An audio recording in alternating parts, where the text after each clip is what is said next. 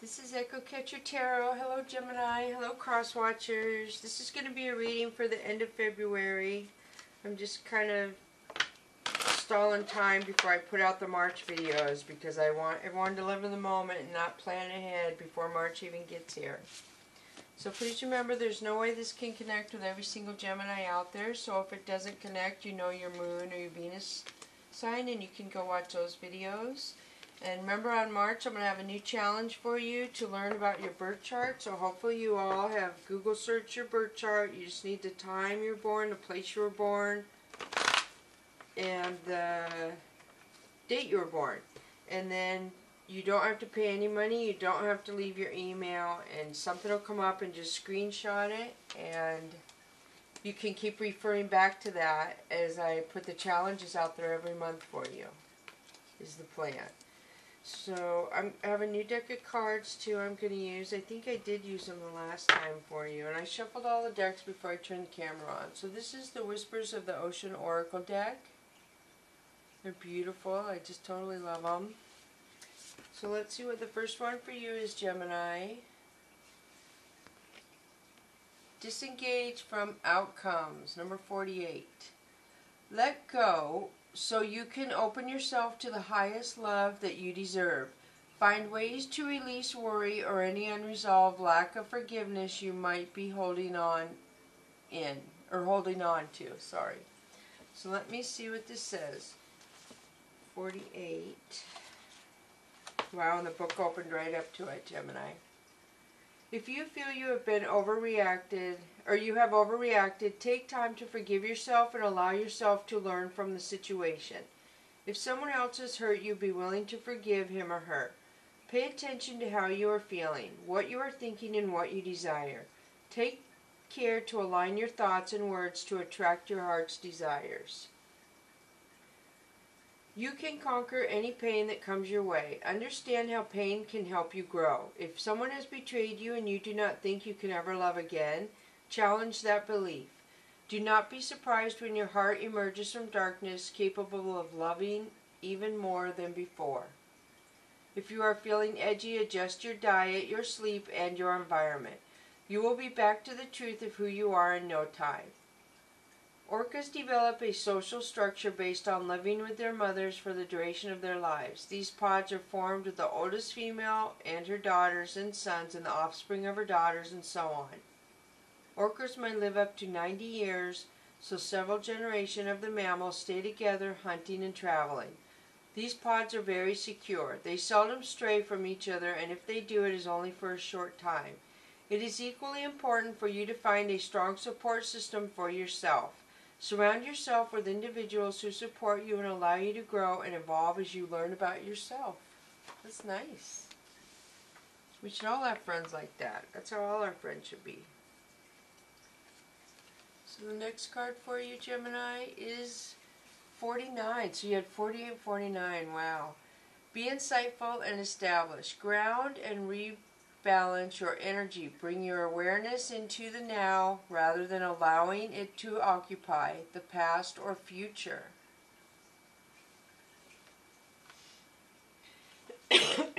Sorry. So 49, let me find that.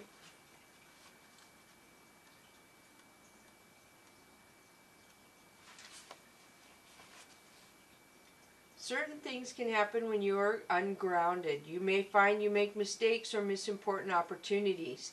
It is imperative that you ground yourself. You can do this by making time for meditation, turning into your physical needs, taking a deep breath, or getting out into nature.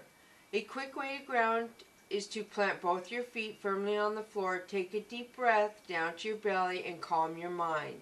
Feel the connection between your feet and the earth. Imagine yourself feeling very calm, centered, and grounded. A tube worm is an invertebrate that anchors itself to stable elements in the ocean. It creates a tube around its body into which it can withdraw completely. The tube worm spends most of its time perched in motionless on rock or coral, unless it feels threatened. If you are ungrounded, you might feel as if you are getting out of touch with reality. Grounding can help you build a strong foundation in knowledge and experience. The tube worm is reminding you of the benefit you feel when you reconnect to the earth. So reconnect, reconnect, Gemini. That's what it says. Okay, and the last one we have for you of this deck is 41. Convey your meaning. This is pretty powerful. Reflect on the way you communicate with others and with yourself. Be sure to express your thoughts and feelings from your heart and with respect and sincerity.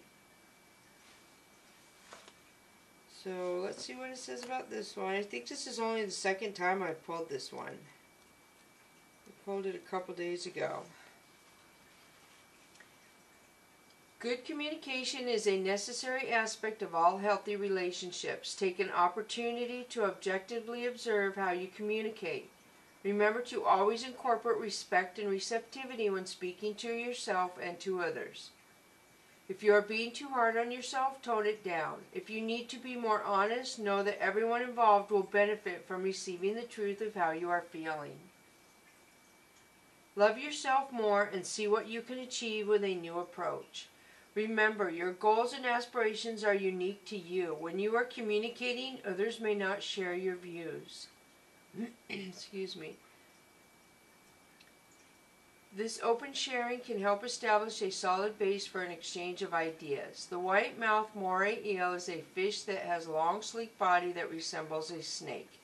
The white-mouthed moray eel is quite shy, despite its strong appearance preferring to spend most of his time concealed inside crevices and alcoves. Their strong jaws seem to open and close as if they are trying to talk to you. Allow yourself the opportunity to clarify what you are trying to get across to someone else. Realize that you may not be clearly explaining what you mean. That's heavy. So if you add those, that would be 48, 8, 9, 10, 3, 4, and 3. 3, 4, 3 would, if I break those down to whole numbers, what they would be. That means anything. So now I'm going to switch to the Mystical Cats Tarot. Gemini, the Empress, beautiful. So this is somebody who's very nurturing, loving, they're very domesticated, they're very, they like nice things, they like to take care of a beautiful house, they like to go shop for the children's clothes.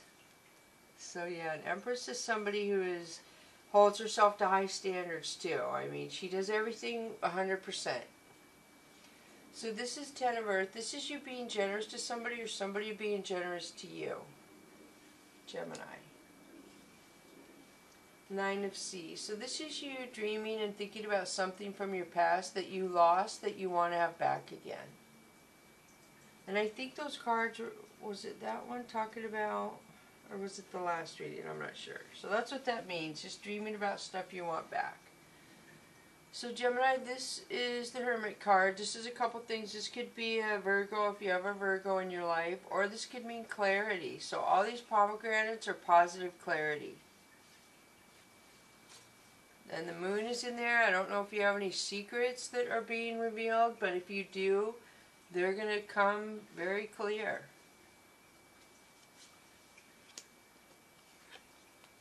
So this is Sea Tom. This is my charmer card. This is somebody who's a charmer. They'll come in and just charm you. This is Earth Kitten. So this is the beginning of something new and it's going to be materialistic. So it could be a new friend, a new car, a new job, a new watch, something like that. Something that you're going to have for a while, which is weird that comes in. So I don't know what it is. Hopefully you know. So then you have the Demon Cat, which is a couple things, Gemini. This could be a Capricorn around you or it could be lower energy, jealous vibrations. You know, you could have Capricorn as your moon or Venus sign, and that's what this could mean to you. But because if you don't know, this is going to seem like jealousy and lower vibrations around you. Hopefully this isn't you putting this out there in the universe because it has an echo effect or a boomerang effect is what I'm trying to say. That if you put negative energy out, it'll come back to you. So That's either a Capricorn or negative energy somebody putting out. So this is Fire King. So this is somebody with pride and ego. They put themselves on a pedestal and they're like, I'm better than everybody else. Uh, look at me.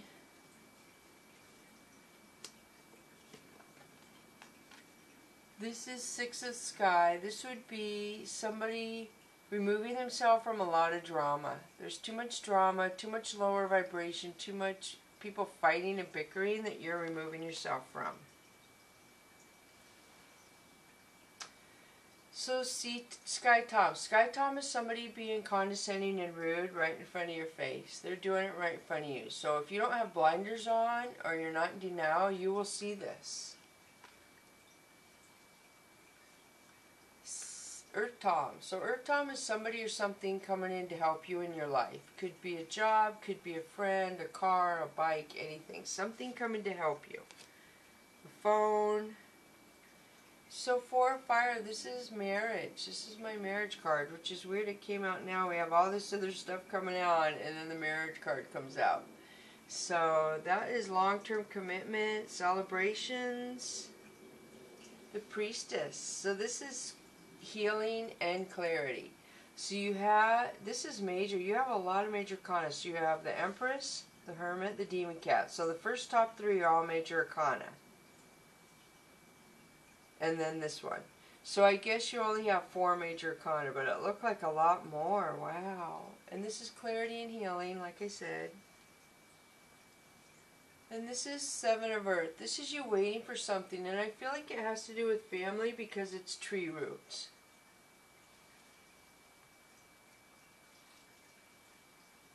Seven of Sea, this is denial. So you are in denial about something, or somebody around you is, Gemini. Pay attention. Try and figure out. Denial is not a good thing because if you deny something and you let it go too long, the universe will step in. And if they give you a tower moment because you denied something, it's not as pleasant as if you pay attention to something and deal with it when it's happening rather than just ignoring it. Because you will have to deal with it sooner or later, if that makes sense. So I'm going to switch over to, well, I'll pull one more, I guess, and then I'll switch over to the chakra. So this is Three of Fire. This is you asking the universe what's going on, why is this happening?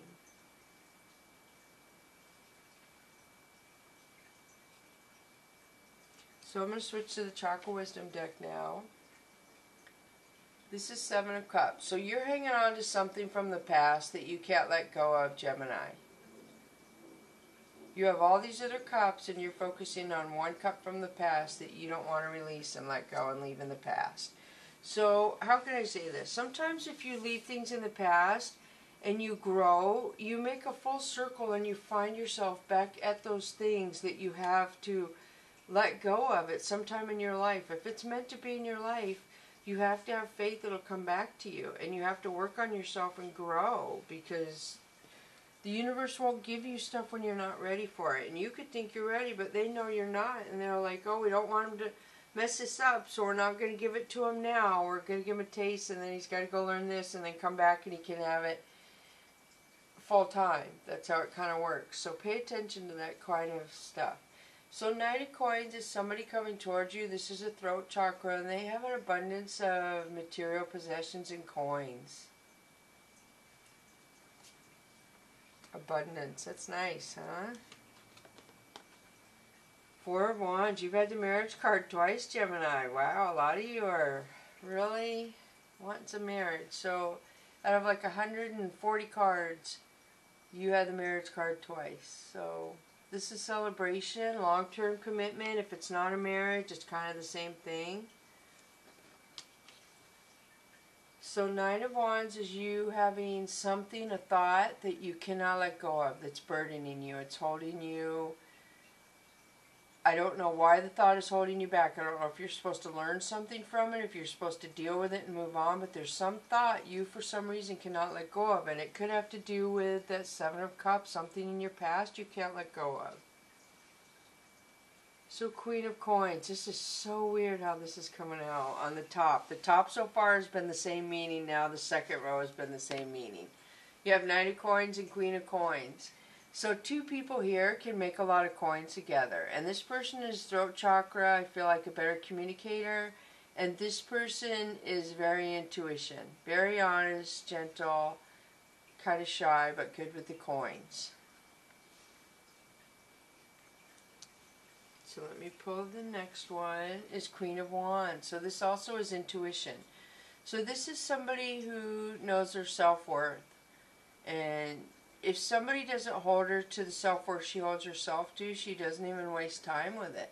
So if you treated somebody less than their self-worth in the past, I feel maybe, and you can't move on from that, I'm not really sure. There's a lot of intuition well, two intuition. So let's go on.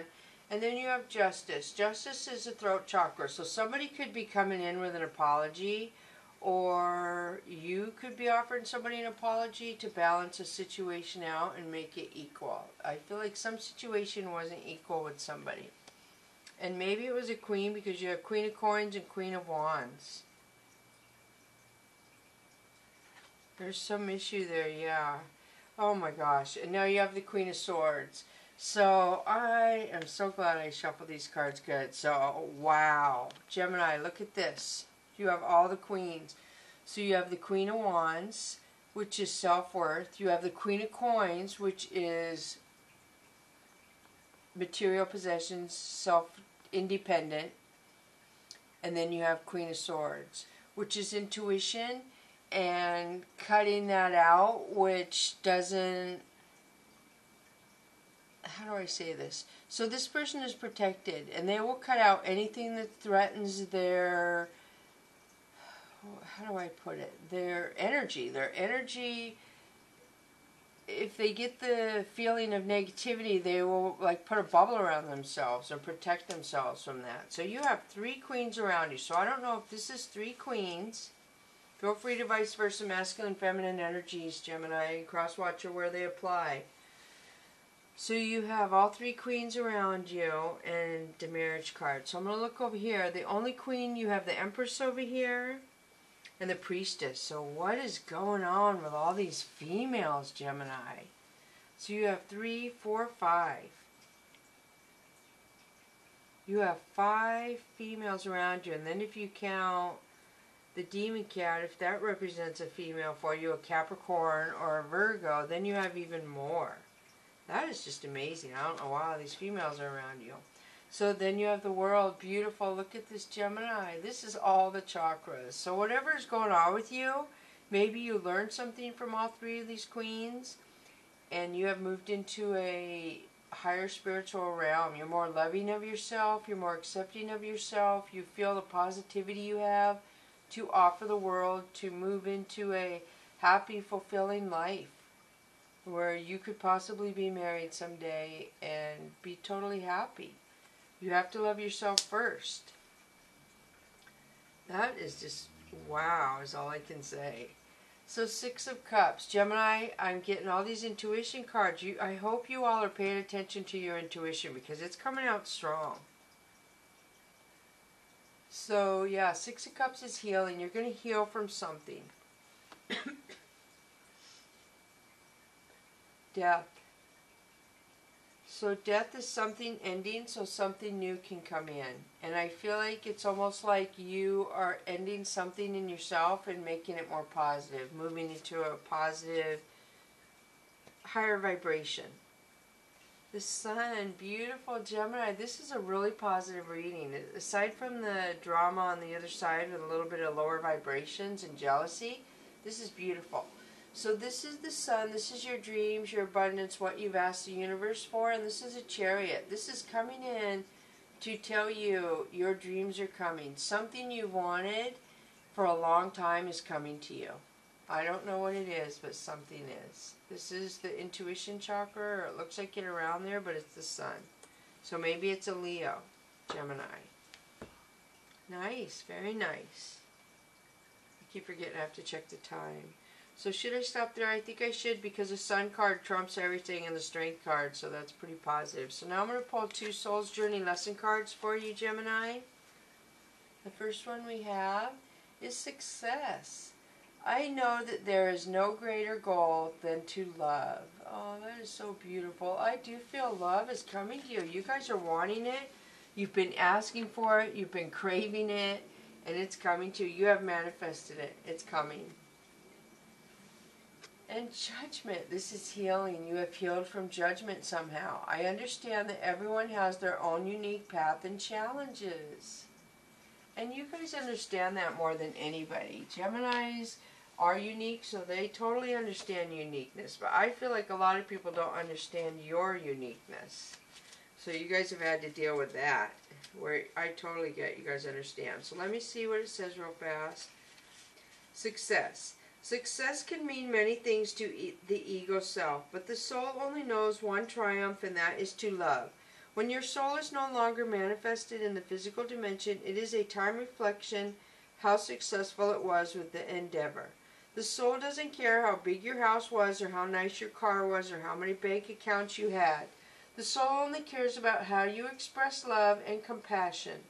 In the infinite wisdom of the universe, the more you love, the more love you demonstrate, the more you will receive. The material things that you thought would make you happy will not have the same appeal. And that's kind of odd because you guys kind of understand that. I think more than the other signs. So, we all are spirit. Here's judgment. We all are spirit. We all are the same. It's only the roles we have chosen to play here on earth that make us seem different. The biggest lesson you have chosen to learn is to love. There are so many situations in this physical dimension that it is possible to incarnate into. But the core lesson is to look past those illusions and see yourself in everyone.